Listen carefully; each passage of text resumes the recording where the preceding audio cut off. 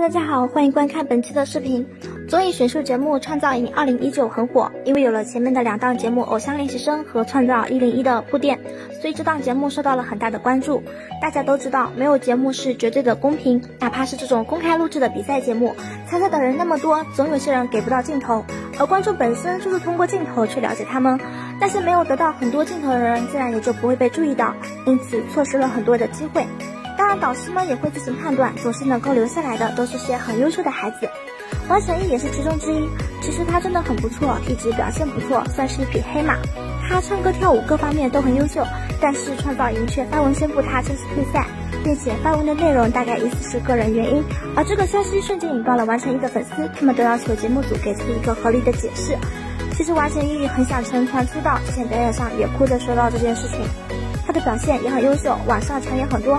不过在节目中已经有很多人支持他，之后他就算是自己出道，也会有很不错的发展吧。好了，本期的视频就到这里了，我们下次见，拜拜。